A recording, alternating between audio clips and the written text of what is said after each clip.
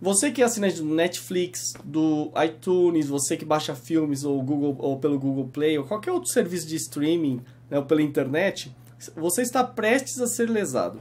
Teve esse evento aí da ABTA, Associação Brasileira de TV por Assinatura, onde as operadoras reclamam da concorrência. Né? Por quê? Porque elas dizem que elas têm que pagar 20% de imposto no total e a concorrência não paga nada.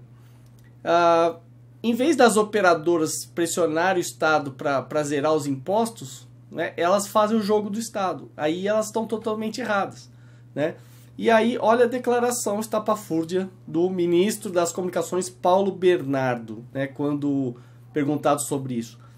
Abre aspas, não tem tributo nenhum porque não tem nenhuma regulação sobre esse serviço. Aí eu vou parar e comentar. E não é para ter regulação mesmo. Não, não era para ter regulação sobre nada.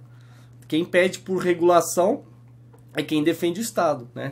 Bom, ele está fazendo esse papel, né? Esse papel ridículo. Continuando, você paga hoje, assina, paga com cartão de crédito internacional e o dinheiro vai lá para fora. Eu comento. E ele queria que o dinheiro fosse para onde? Para os cofres públicos, que não está prestando serviço nenhum? Né? É justamente isso. Continuando, de certa forma, para esse segmento nós somos um paraíso fiscal. Cuidado com quem usa esse termo aí, paraíso fiscal, porque é, sempre é, mostra que a pessoa está defendendo o Estado.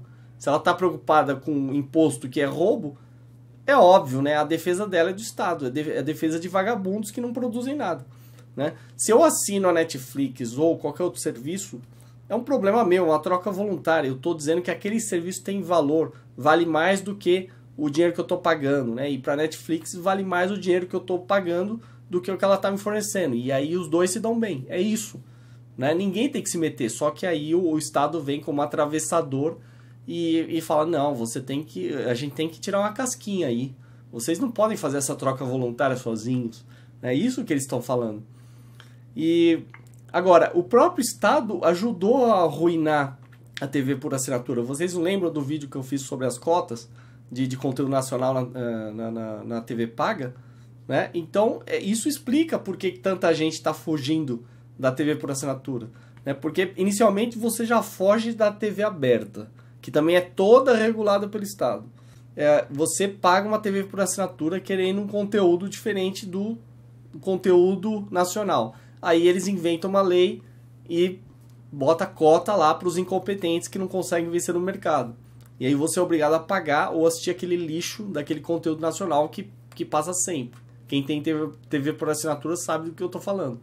Aí você foge para a internet. Né? E aí eles falam, não, você não pode ser, fazer isso, você não pode fugir para a internet. Você vai agora você vai ter que se ferrar também. Então, onde quer que você vá, eles querem te ferrar. Essa é a missão infinita do Estado.